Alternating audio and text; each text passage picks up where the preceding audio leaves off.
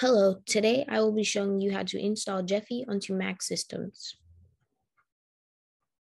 To begin, we will need to install Java. You can get this from java.com and go to downloads for Mac OS. You will need to agree to the license agreement and you can download by pressing the red button.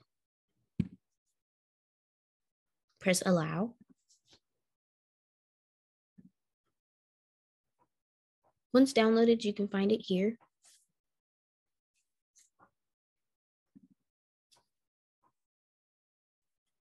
It will ask if you want it to be open because it was downloaded from the internet. You can press open.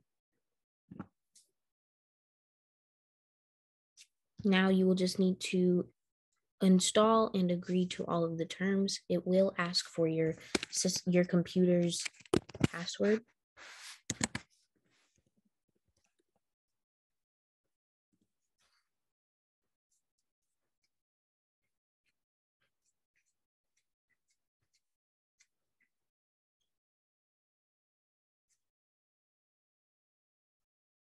And we can now begin installing Gephi.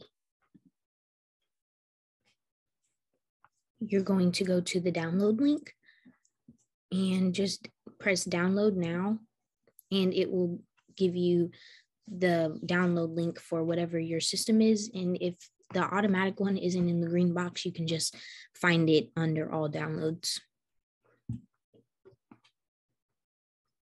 So once downloaded, you're going to go to your Finder and pull up your downloads, and the disk will uh, disk image will be right here. So you're just going to double click that and drag Gephi into your applications, and then open it from there. And since you downloaded it from the internet, Mac is going to want to make sure that you want it actually opened. So just press open.